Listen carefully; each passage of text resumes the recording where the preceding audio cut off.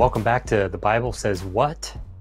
Today I will summarize Revelation chapter 14, where John described the special 144,000 people in heaven, three angels shouting warnings to people on earth, Jesus harvesting the souls of the righteous left on earth, and Jesus trampling the winepress of the wrath of God. In heaven, John saw a special group of people, a special choir. They had the Father's name on their foreheads. There was music in heaven, and this special group of people sang a new song to everyone who was around the throne. This special choir was comprised of people who remained virgins their whole lives, and God considered them blameless because of the blood of Jesus. No lie was found in their mouths. Then John wrote about three angels flying in midair above the earth. The first angel spoke. Every person on earth could see and hear this angel.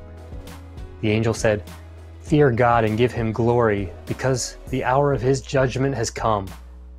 Worship him who made the heavens, the earth, the sea, and the fresh water. A second angel followed this one and started saying, Fallen, fallen is Babylon the Great, which made the nations drink in her adultery and wickedness. A third angel then spoke right after the second and said, If anyone worships the beast in its image and receives its mark in their forehead or in their hand, they will suffer God's undiluted wrath. That person will be tormented with burning sulfur in the presence of Jesus and the angels.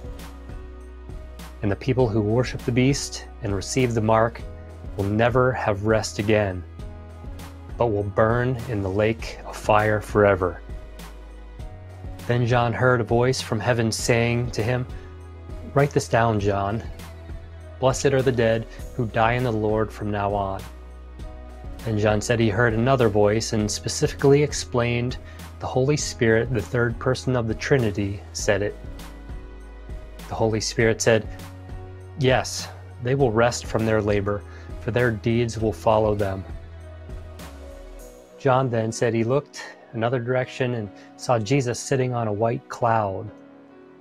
He had a crown of gold on his head and a sharp sickle in his hand. He was waiting for something. Some distance away, an angel was speaking to God the Father in the heavenly temple. Suddenly, the angel raced out from the Father's presence and out of the temple and went directly to Jesus. The angel joyfully yelled, The Father said it is finally time. Take your sickle and reap, because the time to reap has come. The harvest of the earth is ripe.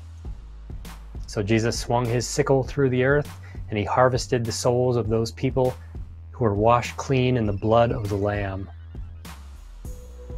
Two other angels raced out from the presence of the Father in the temple.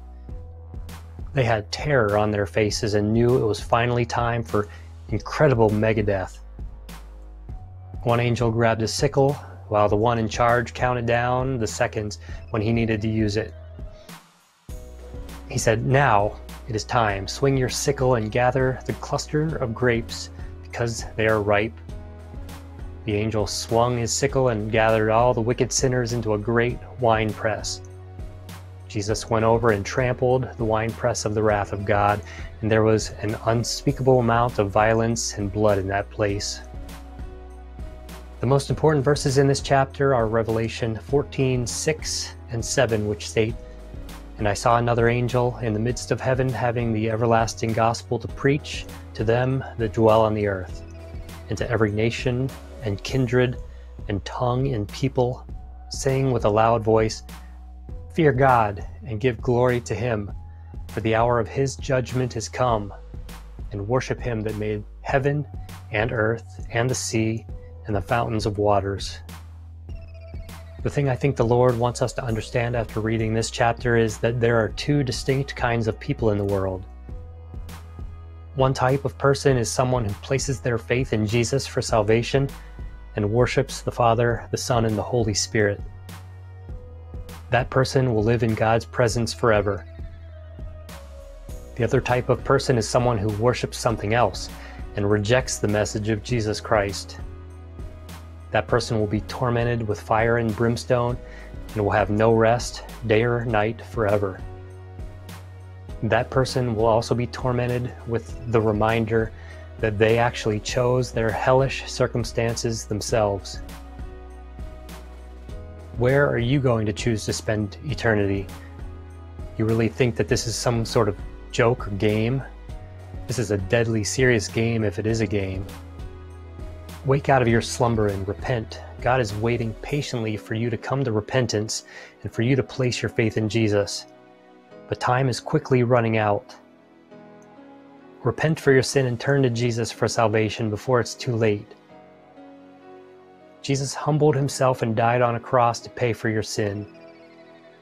The Father raised Jesus from the dead and exalted him to the highest place. You can escape the nightmare. Ask Jesus for mercy, forgiveness, and salvation, and he will let you hide in him when judgment falls.